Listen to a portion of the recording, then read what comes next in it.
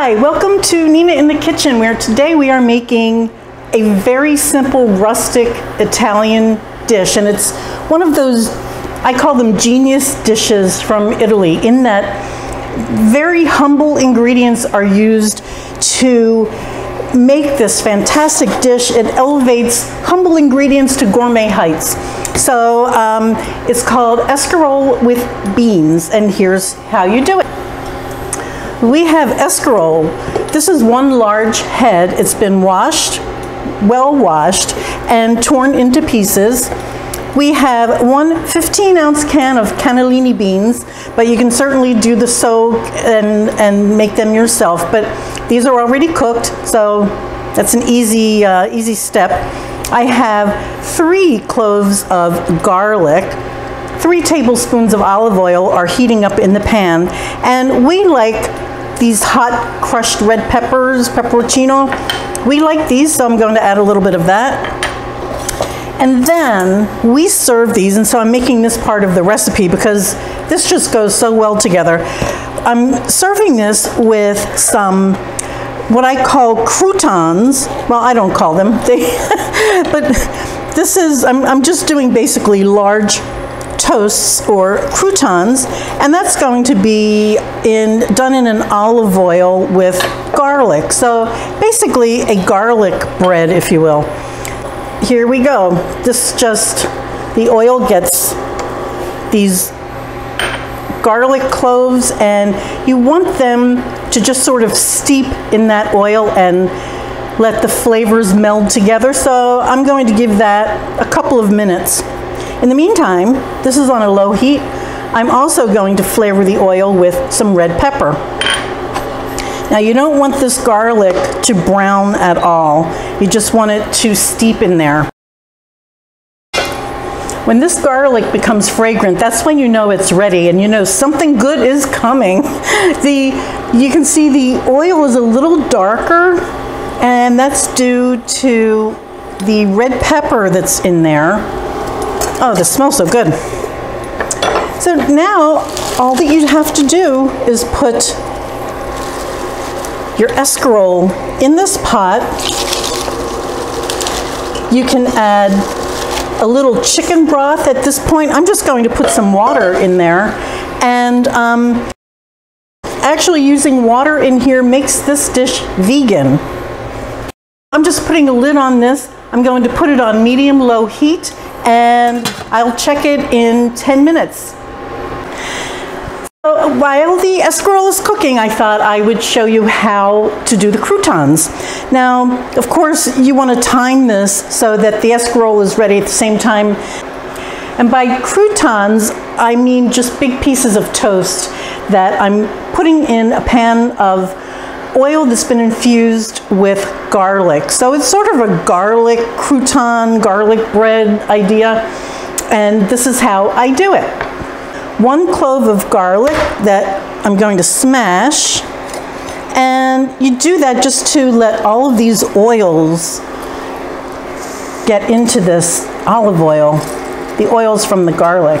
Now, in a few minutes, this garlic, which is now raw, will be soft and creamy looking. And that's what I'm looking for. After that, I will put the croutons into the oil.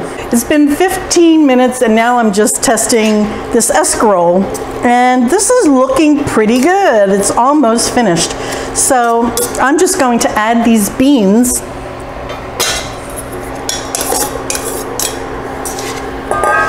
it's wilty, but if you, if you look at this white part, that's still not cooked all the way through. And I, I want it a little softer than al dente. So this will just sit here for another, I'm gonna give it about five, seven minutes, something like that. In the meantime, I'm gonna park this on the back burner and bring the croutons over here and show you how to finish up the croutons. Well, this is how I do my garlic croutons. I have, I have oil in the pan and it's just enough to cover the bottom. I put a garlic clove in there And if I, if you remember, I said that what you want to do is, um, what you want to do is wait until it's kind of creamy and cooked through. Well, this has been on a low, slow burner for about 10 minutes. And so while the escarole was cooking, this has also been going very low, slow heat. And now all of this, if you can see, it mashes up very easily. I'm going to remove this though, but the oils and the flavor of the garlic has been left behind in the oil, which is exactly what I want. It's very fragrant, really, really delicious.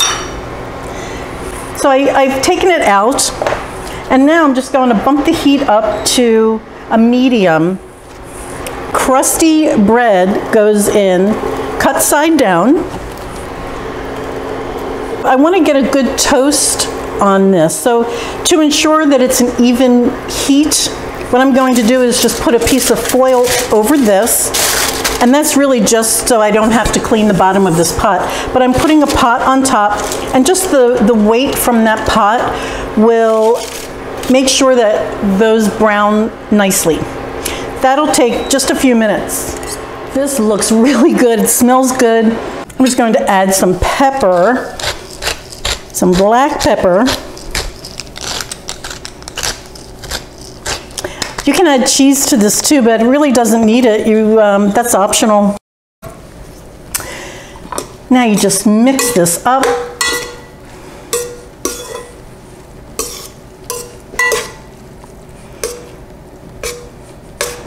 And this is the escarole. Look at how much this cooked down. That's amazing.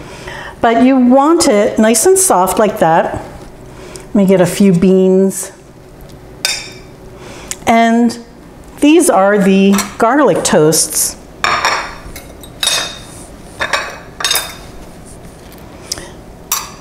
And I'm just going to take some of this and kind of spread it on here. But it should be a little garlicky anyway.